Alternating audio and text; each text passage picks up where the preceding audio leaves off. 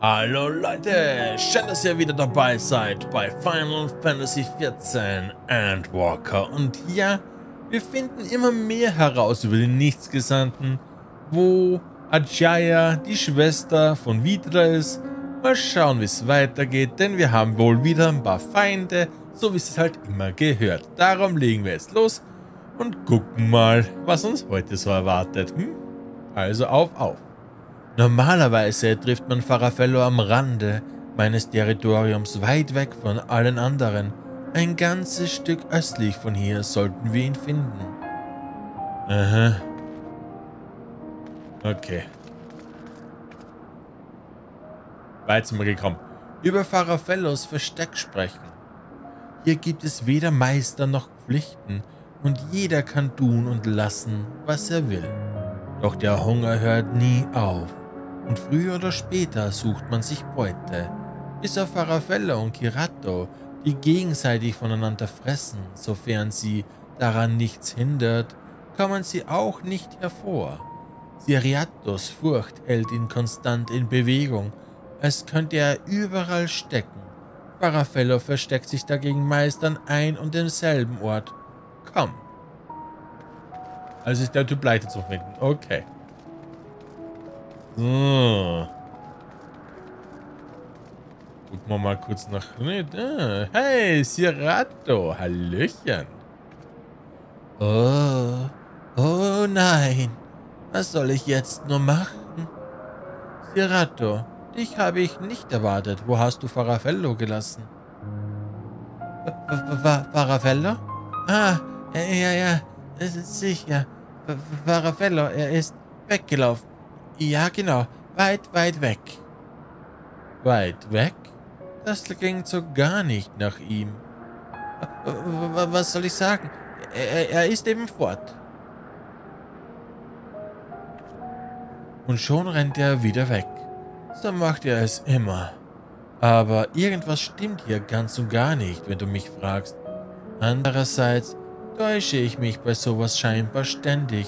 Was sagst du dazu? Er war verstört. Hat ihn vielleicht jemand angegriffen? Ich glaube nicht, dass er uns die ganze Wahrheit erzählt hat. Ich denke mal, der hat seinen Kollegen gefressen. Also, glaubst du das auch? Ja. Diese Geschichte macht mich stürzig. Farafello ist nicht in seinem gewohnten Versteck und Sirato, der ewig in Bewegung ist, kauert reglos an einem Ort. Nein, wir müssen Serato finden. Komm. Okay. Also hier lang wohl. Diesmal packen wir das Bike aus. Scheint etwas weiter weg zu sein. Hallo Hündchen. Oder was auch immer du bist. Ah, da ist er ja schon. Serato, wir müssen reden. Nein, nein, nein, nein. Dazu haben wir keine Zeit. Der, der Sturm zieht auf und mit ihm. Wir müssen fliehen. Und zwar schnell. Hey, warte. Sie? Vor wem spricht er? Aber das müssen wir ihn wohl selbst fragen gehen. Ja, ja, ja. Ja, perfekt. Servus, nochmal. Was ist denn so los mit dir? Wer zieht mit dem Sturm auf? Na, der Sturm. Die Winde. Barbarizia. Wer? Wir müssen von ihr fliehen. Alle schnell. Hau nicht ihm ab, Mann! Ich spüre nichts und niemanden im Gegensatz zu ihm. Da vorne ist aber eine Sackgasse. Von dort aus kann er uns nicht mehr entkommen. Okay, so, Sprint rein. Ah, da ist er ja schon. So, diesmal haust aber jetzt nicht ab, ne? Das ist geil, Jetzt fress ich dich.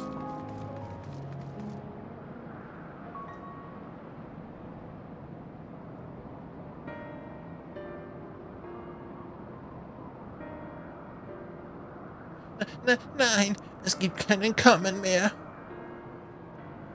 Wovor willst du denn überhaupt entkommen?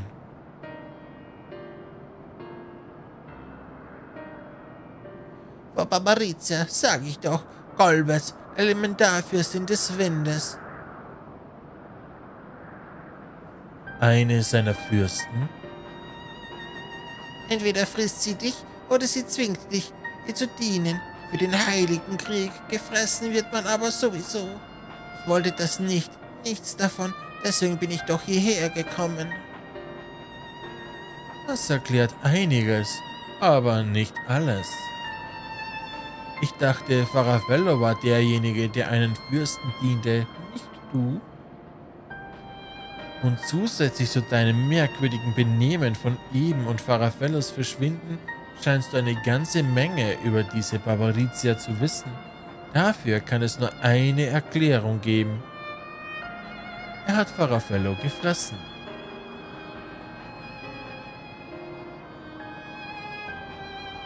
Du sagst es, scharfer Verstand, Hut ab. Ist das wahr? Hast du es getan? Und damit meine ich nicht nur etwas von seinem Äther, ob du ihn ganz und gar verschlungen hast, will ich wissen. Aber woher wisst ihr das? Nicht nur dein Verhalten ist mir aufgefallen, weißt du. Du bist mir aufgefallen. Du fühlst dich anders an. Aber die Beherrschung hast du nicht verloren, oder? Parafello hat dich darum gebeten, ihn zu verschlingen. Ich, hier kann man nichts vormachen, oder? Es ist wahr. Parafello ist nicht geflohen. Ich habe ihn gefressen. Vor niemanden hat er sich je mehr gefürchtet als vor Barbarizia. Und er hasste das endlose Gekämpfe. Also, also hat er mich gebeten, ihn zu verschlingen, ganz und gar damit er nie wieder kämpfen muss. Also wählte er einen einzigen Augenblick des Schmerzes anstatt einer Endlosigkeit des Kampfes. Ich schätze, das passt zu ihm. Und trotz allem kann ich ihn immer noch hören, tief in meinem Kopf. Und er hat Angst. Parafello hat so große Angst.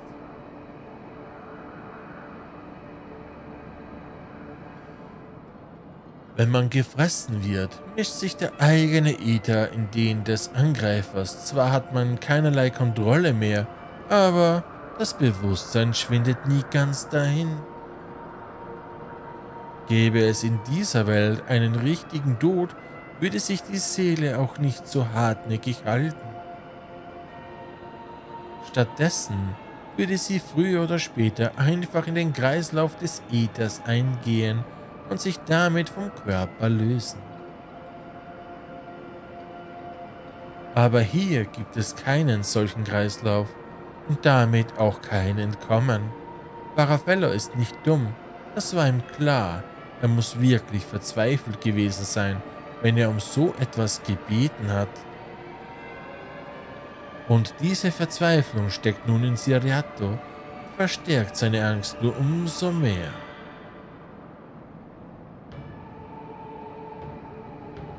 Die dieser Ort wird vom Blut gedrängt sein. Weder noch Farafello wollen gefressen werden, aber jetzt gibt es keinen Kommen mehr. Dann erzähl mir von Barbarizia. Ich will wissen, mit wem genau wir es zu tun haben. Es ist zu spät, nicht mehr lang, und dann werden ihre Winde und alle verschlingen.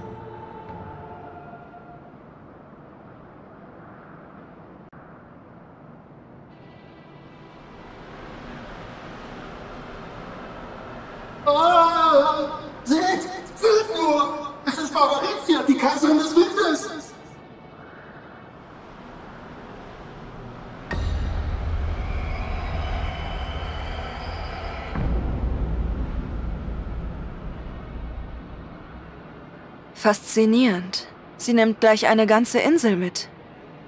Eigentlich kann sie nur nach euch suchen.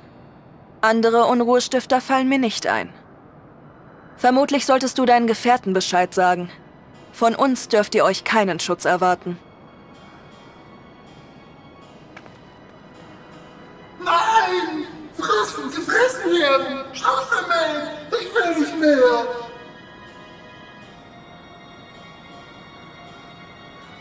Das verstehe ich nur zu gut.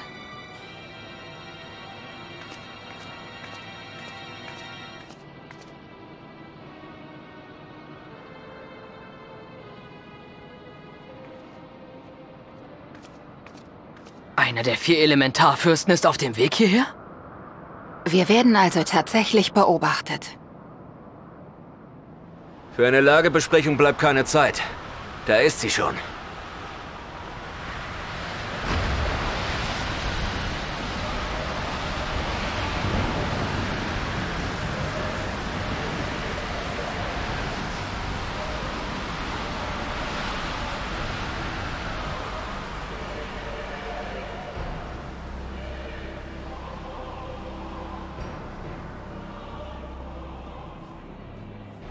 Ich dachte, ich müsste euch aus Burg Troja scheuchen. Stattdessen lauft ihr mir geradezu in die Arme. Du bist also diese Barbarizia. Für dich, Kaiserin des Windes. Was ist das hier überhaupt für ein garstiger Ort?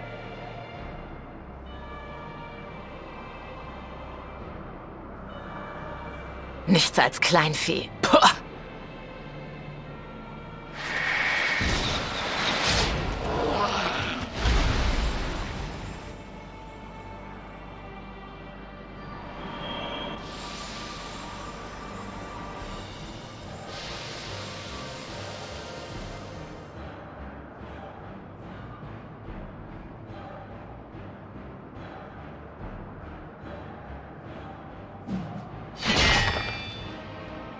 Scheinbar habt ihr Skamillione auf dem Gewissen. Also, was wollt ihr hier? Wir suchen nach einem Drachen, der vor tausenden von Jahren in diese Welt gekommen sein muss. Weißt du etwas darüber? Ein Drache?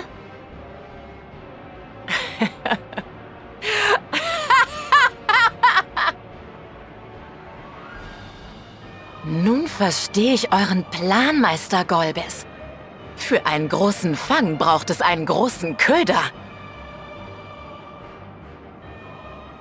Diese geniale Voraussicht will ich ehren, indem ich nun ihre Seelen restlos verspeise. Diese Worte. Du weißt etwas über Astaya! Hm, du riechst auch danach, nach dem köstlichen Äther eines Drachen.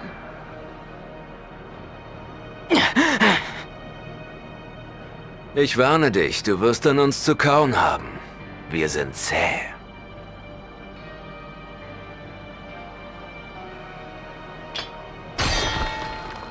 Das werden wir sehen, mein kleiner Leckerbissen. Ich bin nicht Skamillione, der seine Schwäche mit Hinterhalten kompensieren muss. Ich lade euch nur zu gerne ein in meine Domäne. Kommt und seht selbst, wenn ihr so brennend an dem Drachen interessiert seid. Oder schlottern euch schon die Knie? Dann lauft nur davon, husch husch. Schließlich habe ich hier noch ein ganzes Dorf voller Häppchen, an denen ich meinen Appetit stillen kann.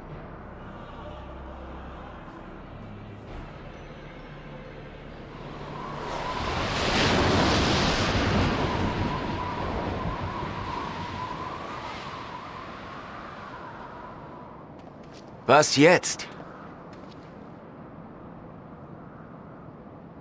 Diese Einladung nehmen wir an. Das kann nur eine Falle sein. Ja, das ist eine Falle, ist es mal klar. Wir nehmen die Einladung an.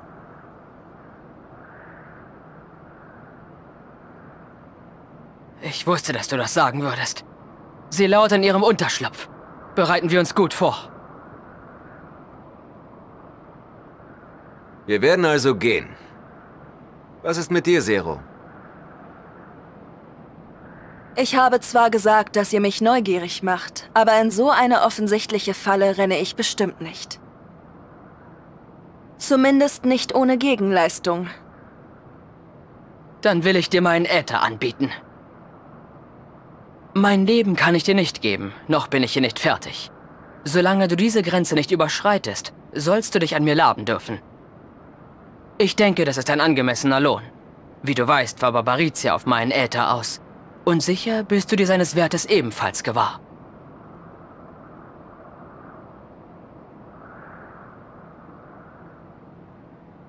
Gut, so soll es sein.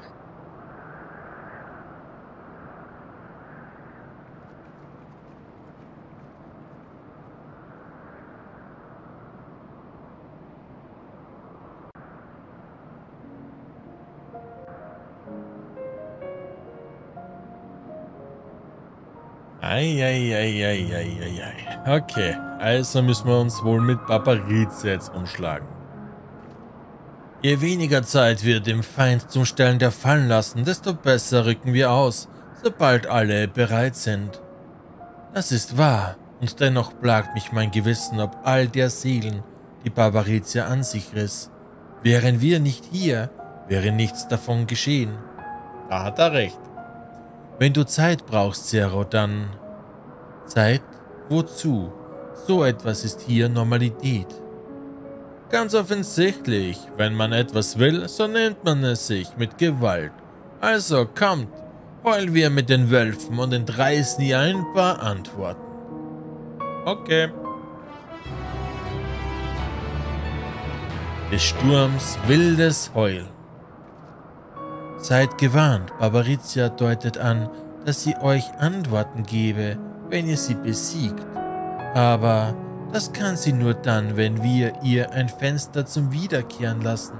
Ich muss wohl nicht betonen, wie gefährlich das ist, gerade bei einem mächtigen Wesen wie ihr. Stattdessen sollten wir sie bei erstbester Gelegenheit versiegeln. Und dann berührst du einfach die Memoria und blickst in ihre Vergangenheit. Ja, ja, Leider lässt sich diese Gabe nicht steuern. Ich werde es versuchen, kann aber nichts versprechen. Gut, sollte es nicht funktionieren, müssen wir eben anderswo nach Antworten suchen.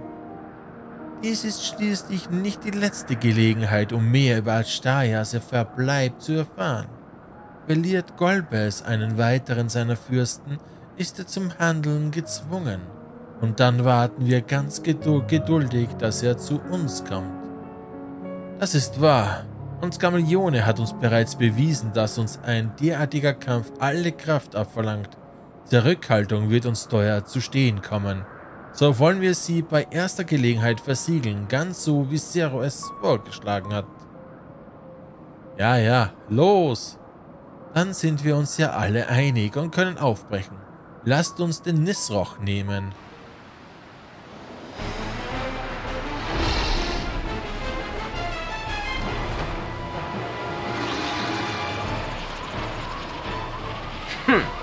Ihr seid nicht die Einzigen, die auf dem Wind reiten.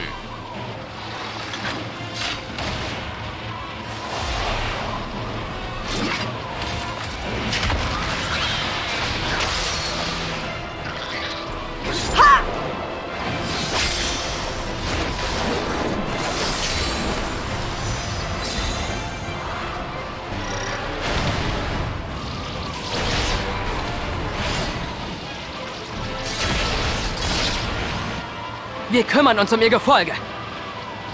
Barbarizia ist dein.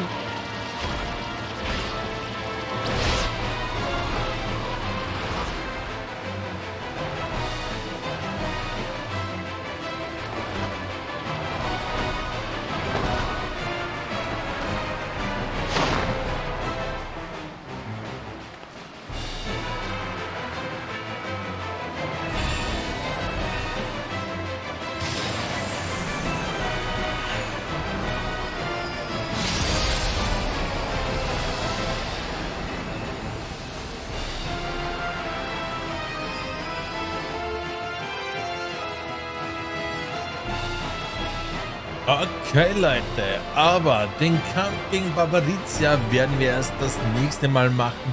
Ich hoffe, es hat euch heute gefallen. Ich wünsche euch was. Wir sehen uns bald wieder. Bis dahin, ciao!